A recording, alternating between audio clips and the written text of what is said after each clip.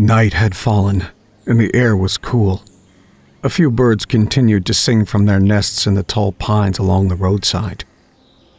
Wendy's footsteps were loud in her ears as she walked. The road was unfamiliar to her, as was the neighborhood itself. Her new apartment was two miles back the way she had come, and she still had another mile to go before she reached her turnaround point. She kept a steady pace, her fanny pack bouncing rhythmically against her behind. The occasional car raced past, some of them moving away from the shoulder of the road, and others staying close. Wendy's reflective safety vest and blinking lights seemed only to alert the drivers who were actually paying attention to the road. It was a roll of the dice whether or not she would be hit every time a car came by. But she didn't mind. The weather was pleasant, and it was good to get outside, away from her computer and constant research. She began whistling to herself as she approached the closed off road to an old campground. A rusting chain stretched across the cracked pavement of the entrance and was looped around two pine trees. From the chain's sagging center, a faded sign reading, No Trespassing, hung limply. There was no breeze to move it. As Wendy drew closer, she heard a curious sound. Almost as though someone, or something, was shuffling towards her. When she reached the entrance, she paused and looked down the dark road. The alternating flash of red and white from her safety light illuminated the trees in a harsh way, giving the tree lined passage a nightmarish quality. And Wendy saw movement a large, hunched over shape. It took her a moment to realize it was a person, one dressed in rags and with a backpack on. The stranger shuffled towards her, caught sight of the light, and lifted its head up.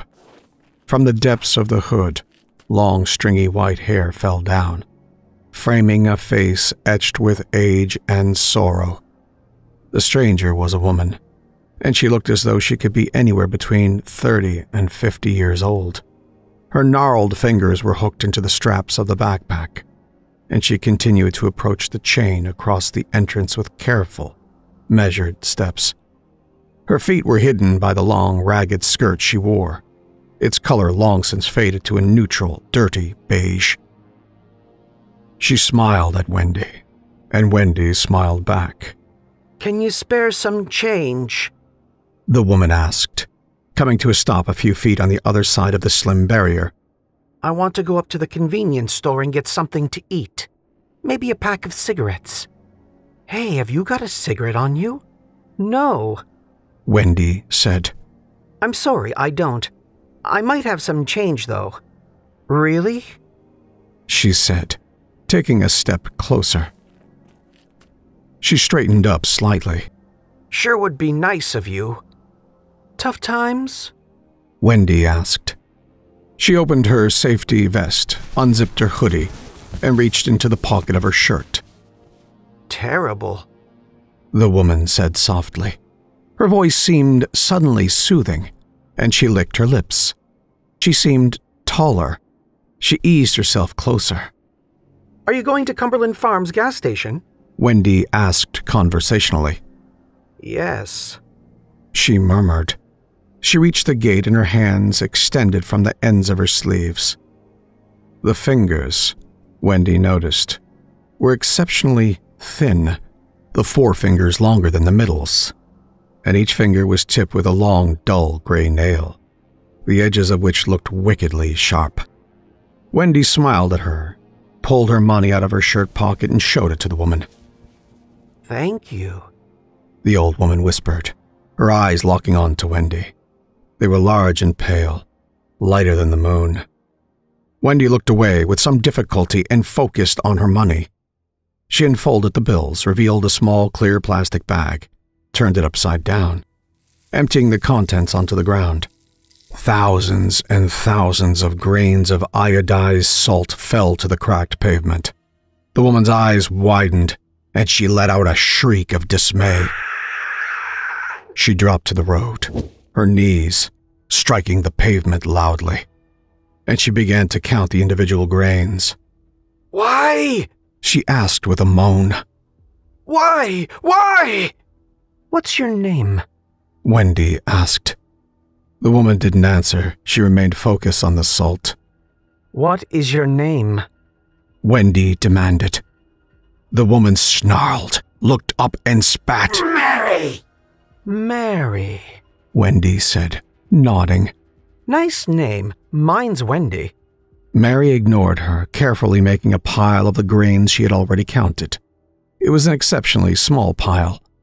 While she focused on her task, Wendy reached back into her sweatshirt and freed her pistol.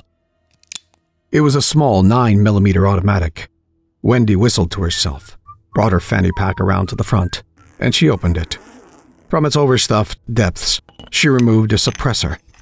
With long practiced motions, she screwed the suppressor into the barrel of the automatic and chambered around.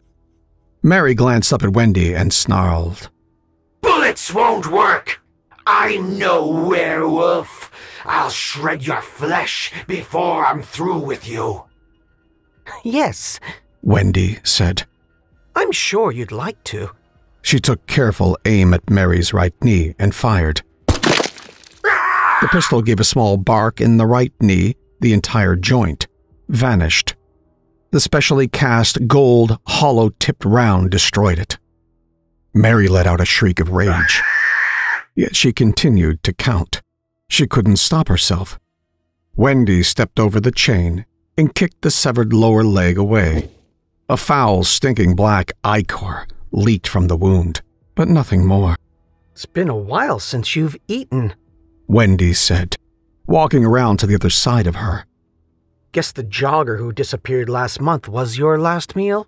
Shut up! Mary snapped as she continued to count.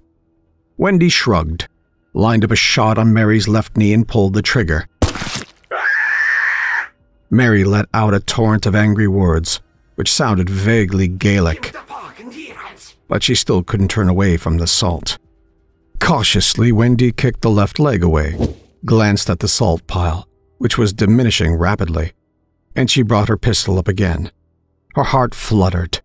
She had come to the most dangerous part of the task. A shot to the throat, and even the banshee's compulsive need to count would be overridden by the desire to survive.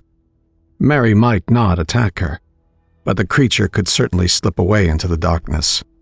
Severing the arms would also free Mary of the compulsion to count, and depending on how strong she was, she might even be able to attack Wendy without her limbs. But she hadn't been hunting Baobhan Sith banshees for 30 years to give up or shrink away. The explosive tipped rounds in the pistol gave her an edge, as did her skill with the weapon. So Wendy took the same chance she always did. She could only hope she was faster than Mary's instinct to survive. Wendy was. Four quick shots separated Mary's arms at the elbows and nearly severed her neck. Mary fell back, her mouth working frantically in silent rage. A single artery kept her head attached to her body, and this, Wendy shot as well. Quickly, she took a plastic bag from her pack, shook it open, and grabbed the banshee's head by the hair. The hate in Mary's eyes was powerful, and Wendy smiled at her as she dropped the head into the bag. She tied it off, set it down on the pavement, and went about the dirty process of dragging the various parts of Mary's body down the driveway. She came to a worn and battered log cabin labeled Office in faded yellow letters. Wendy dropped Mary's forearms onto the ground and returned for the banshee's legs. When those had joined the arms, Wendy went back for the torso. By the time she had gotten it to the others, she was sweating and shaking her head at the stink coming off her clothes. Finally, Wendy went back for Mary's head. She could see the banshee's lips working beneath the plastic. With a sigh, Wendy picked up the bag by its knot and kept it at arm's length. She didn't need Mary to bite through the bag. And that's how hunters die, Wendy thought. One moment of forgetfulness, split second of stupidity. When Wendy got to the pile which remained of Mary's body, she set the banshee's head down to one side. She was an old creature from what Wendy could tell, A sense of power exuded from Mary, even dismembered as she was. And Wendy felt better. The old ones traveled alone. They knew better than to hunt in groups. Too many people missing, and the local folk get concerned. It was best to snatch one or two. It made the Baobhan Sith harder to find. Unless you know what you're looking for, Wendy thought. She had been tracking Mary's movement for nearly a year. The Banshee had worked her way from upstate New York down to the city, up into Connecticut, to the tip of Maine, and back down into New Hampshire. Almost a dozen dead runners, walkers, joggers, people who could conceivably go missing, victims of unknown crimes. Wendy straightened up, took her can of lighter fluid out of her pack, and flipped it open. Something cried. A low whining. She stopped. A container poised above the remains. Wendy looked around and saw that the door to the office was ajar. Whatever it was cried again. And the sound came from the building. Oh, Jesus, Wendy thought, putting the lighter fluid down on the ground. Is there a kid in there? She pulled a fresh magazine out of the pack, ejected the one in the pistol, and replaced it quickly. She chambered around, took a firm grip on the weapon, and advanced towards the structure. The cries increased in volume, each plaintive sound pulling at her. Wendy steeled herself against the possibility of a bitten child. In all of her years hunting the undead, she had only had to put down one young boy. She still had nightmares about it. Wendy took a deep breath, gently climbed up the stairs and pushed the door fully open with her left hand.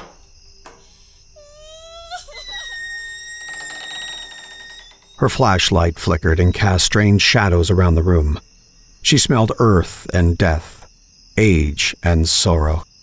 The room was barren of furniture, but in the corner was a pile of blankets, and from the worn fabric she saw a small face peering at her. A little girl, dark haired, and with exceptionally white skin. Wendy lowered the pistols slightly, and then she saw the girl's eyes. Pale, exactly like Mary's. As Wendy went to bring the weapon back up, the girl hissed. The vicious, needle shaped teeth a Baobhan Sith glared from her mouth. Sharp gray nails extended from the tips of the girl's fingers. Before Wendy could pull the trigger, something slammed into her, and she shot wildly into the ceiling. Wendy was sent spinning into the far wall. The girl launched herself out of the blankets, and a smaller child scrambled over Wendy. The disturbing clack of miniature hooves on the worn floorboards rang out a harsh reminder of the lost humanity of the turned children. The gun was quickly ripped from Wendy's hand and thrown across the room. Long fingernails latched onto her wrist, punching deep into her flesh and penetrating her veins.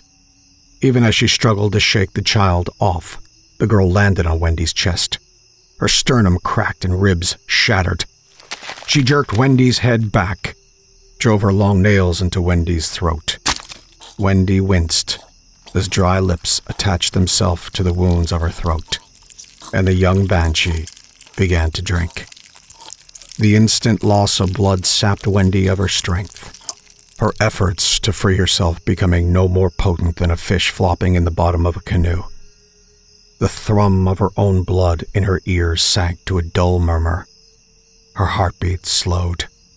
Slowly, her consciousness faded, and Wendy was left with one terrible thought. Dear God, they're not going to kill me.